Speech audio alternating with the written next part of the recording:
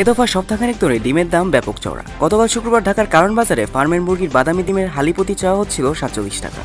ঢাকার শেরপার আলিমিয়া টেক বাজারে একই ডিম বিক্রেতা প্রতি হালি পঞ্চাশ টাকার নিচে বিক্রি করেনি। একই বাজারে কাছের মুদি দোকানে প্রতি হালি চাওয়া হচ্ছিল বাউন্ন টাকা। সাদা ডিমের দাম সামান্য কম কারণ বাজারে তা বিক্রি হচ্ছিল পঁয়তাল্লিশ টাকা দরে। আর হাঁসের ডিমের দাম তো আরও বেশি কারণ বাজারে প্রতি হালি ষাট টাকা, আর অন্যান্য বাজারে তা চাওয়া হচ্ছিল পঁয়ষট্টি থেকে সত্তর টাকা।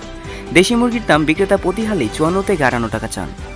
ডিমের দাম কেন এত বাড়লো তা জানতে চাইলে পোলট্রি খামার রক্ষা জাতীয় পরিষদ সাধারণ সম্পাদক জানায়, মুরগির খাবারের দাম এত বেশি যে ব্যয় সামলাতে না পেরে অনেক খামার বন্ধ হয়ে গেছে। এতে মুরগির বাচ্চার চাহিদা কমে যায়, যা বাচ্চা উৎপাদনকারী অনেক খ্যাচিকারকে বন্ধ হতে বাধ্য করে। এখন দাম বেশি পেয়ে অনেক খামার চালু হচ্ছে, ফলে বাচ্চা ফোটানো ডিমের চাহিদা বেড়েছে ওদিকে উৎপাদন কম। তিনি আরও বলেন রাশিয়া ইউক্রেনের যুদ্ধের কারণে দেশে ভুট্টা আমদানি কমেছে, এতে দাম প্রায় দ্বিগুণ হয়েছে, কেজি এখন পঁয়ত্রিশ থেকে ছত্রিশ টাকা। সয়াবিন মিলের সয়াবিন খোয়েল দাম কেজিতে বত্রিশ থেকে বাষট্টি টাকা হয়েছে। পোলট্রির খাবারের দাম বেশি হওয়ায় খামারিদের মুরগি লালন পালনে অনেক বেশি টাকা খরচ হচ্ছে, তাই ডিমের দাম বাড়াতে হয়েছে। তো বন্ধুরা, ভিডিওটি এ পর্যন্তই। ভিডিওটি লাইক শেয়ার করে মানুষকে দেখার সুযোগ করে দিন। আর আমার চ্যানেলটি সাবস্ক্রাইব করে রাখুন। পরবর্তী ভিডিওর আপডেটটি পাওয়ার জন্য।